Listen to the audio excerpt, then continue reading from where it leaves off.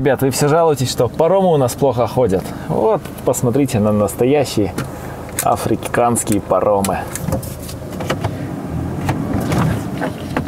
Очень все просто. Просто ехать прямо и все тут. Ничего особенного. Вроде сказали не глубоко. Влево-право. Во-во-во, заезжаем, заезжаем, заезжаем. Оба-на. И смотрите, я заехал. Офигеть. Офигеть.